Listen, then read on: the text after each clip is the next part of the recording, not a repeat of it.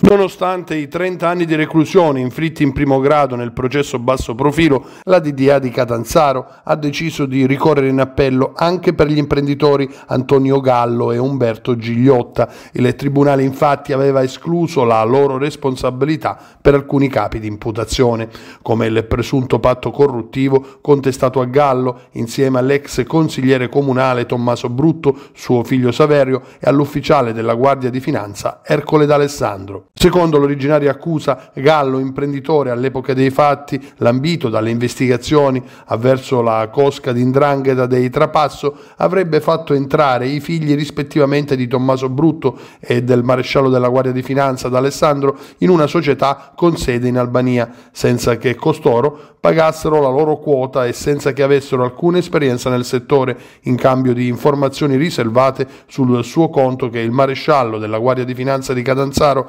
avrebbe dovuto acquisire dai colleghi per poi rivelarle all'imprenditore. In pratica l'assunzione dei due figli sarebbe stato il prezzo rispettivamente delle illecite attività spiegate dal pubblico ufficiale e per brutto della mediazione tra i due. I giudici di primo grado hanno invece ritenuto insussistente l'accusa. L'accordo per la costituzione della società in Albania sarebbe stato, secondo il tribunale, assolutamente lecito, per la DDA invece la sentenza non è assolutamente condivisibile.